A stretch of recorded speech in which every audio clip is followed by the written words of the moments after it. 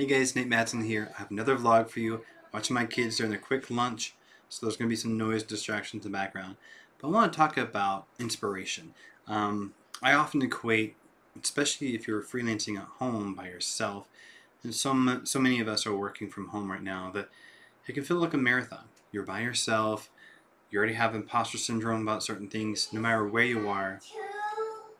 I'll be right back. Okay, I'm back. So, I was talking about inspiration and the fact that working from home, working as a composer, sound designer, which is often one person in a room, can be isolating. And it can be hard to have inspiration, especially when you're dealing with imposter syndrome, which I don't care where you are in your career, whether you're at the higher echelon or whether you're starting out or somewhere in the middle, you're going to have imposter syndrome about something. It seems to be inherent in all of us creative types. So, I'm going to show you two in, in my opinion, unusual sources of inspiration that worked for me. Coming up next on Madsen Musings. Hang tight.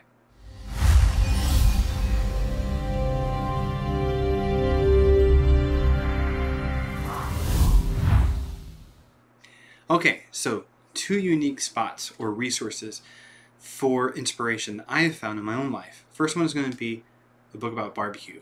What? A book about barbecue. So for those that don't know me, I love barbecue. I love everything about it. I love the process of making it. I definitely love eating it. Um, I love smelling it, seeing it. It's just a, a, work of art to me. And I've been reading this book by Aaron Franklin. and I have a couple spots I'm just going to read to you real fast. He has a whole chapter, a whole sec section that's all about the beginning. But first I may have been disappointed that I wasn't improving by leaps and bounds every time I managed to cook a brisket. Now I know that progress does not always flow in a steady stream. You have to give yourself some slack, because learning how to make barbecue takes time, and not everything is going to be a big success. There's about two more, three more. You add value to the ingredients through cooking, and then do it all over again. That's how this entire thing has happened, and is in fact still happening. This restaurant has not accrued one cent of debt. That's because you can build something out of nothing if you're just willing to work at it. And skip over a couple pages here. Alright. On Fridays, I'd spend the money I'd saved up all week at half price books. Just a few dollars on whatever cool cookbooks I could find, as well as books on architecture, anything barbecue, of course, roadside stuff, especially Route 66 Americana, 1950s design, and old diners. I was gathering information and inspiration like so many nuts packed into a squirrel's cheeks. We got one more thing. I shut the door and sat on my bed and counted the money and thought to myself, wow, maybe I can do this. And this was the first time it ever truly seemed real to me. And that story, Aaron Franklin is talking about, um, he's done several of these neighborhood cooks, informal get togethers in the backyard, front yard, and uh, it was all at his own cost and his wife's cost. And he was struggling back then. He said they were renters, they didn't have their own home, they were um, hobbling together things. So it wasn't like he was living the high life. Didn't have a lot of resources to work with. And then one of his buddies said, Hey, we gathered up some tips basically from everyone. Everyone threw him some money. Didn't tell him, and he had some money that basically covered the cost of that event where they're cooking, I think two or, I think he said five briskets that were cooked, had some sides, and it was just a get together. And this was a passion, a side thing that Aaron Franklin was doing that grew into, of course, now he's one of the top ranked barbecue pitmasters in America. Um, and I've had his food several times, and it's stellar. So I'm reading that book, and those things inspire me because I'm seeing someone's journey. I'm seeing some, someone when they don't have a lot of stuff at the beginning, a lot of resources, a lot of money, um, a lot of know-how, and so they're just gathering it up. I love that um, picture he paints of like a squirrel with its mouth full of food.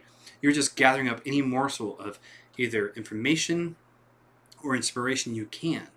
And that's where some of y'all are in your careers.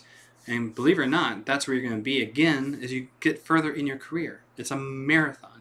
And so there are times you have to rest and remind yourself, inspire yourself.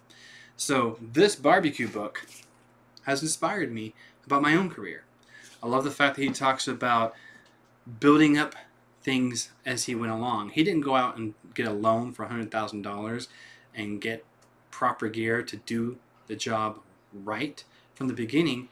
In fact, he even talked about he he browsed Craigslist for the free stuff, and there's this like $99 smoker back in the day. He said very poorly made, thin metal, it leaks, it doesn't regulate temperature very well at all.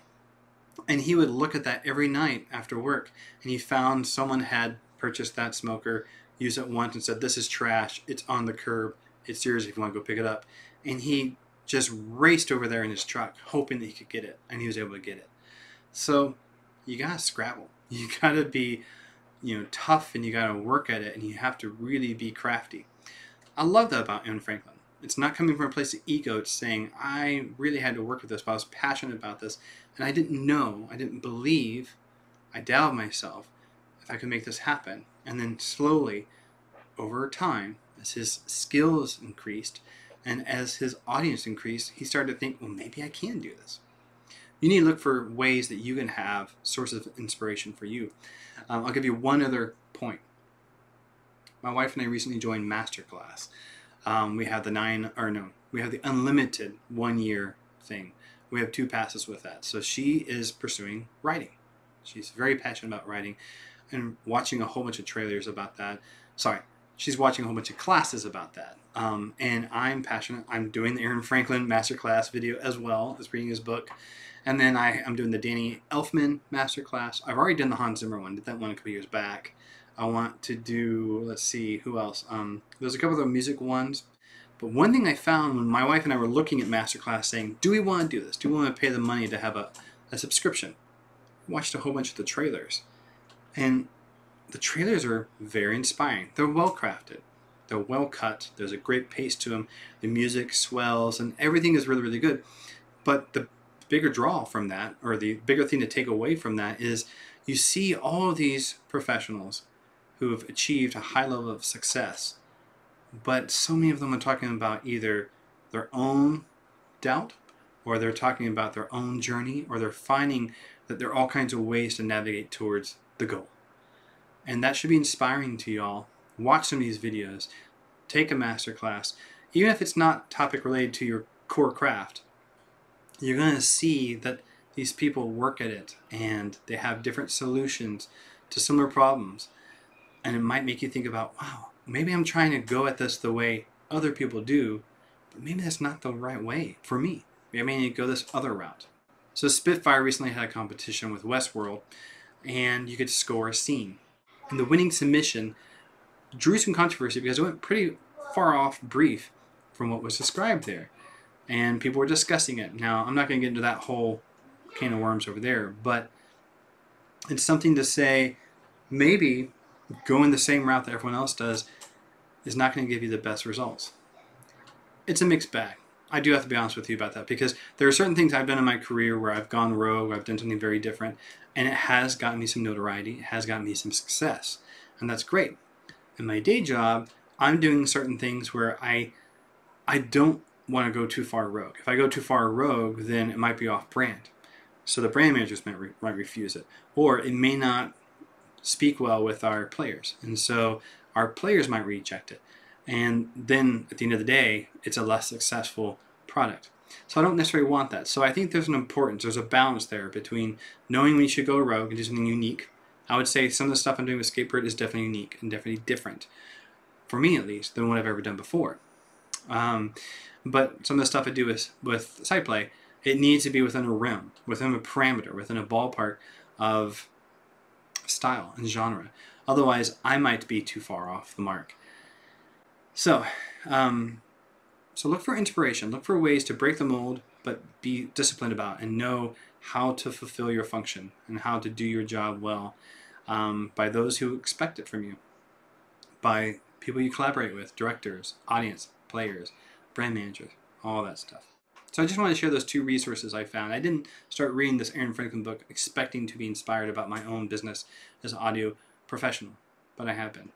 And going to masterclass, I didn't expect to be inspired by those trailers talking about how to be become an author. This is why I love shows like Inside the Actor Studio, where you hear about the, the journey and the struggle, the hard years, the lean years, where you cut your teeth on something and you get better and better and better and better at it.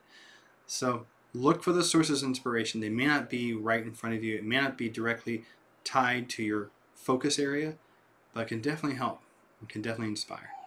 Hope that's helpful. Hope you like this video. Hit like, subscribe, comment, leave me a message. I'd love to respond to you and take care. See you in the next one.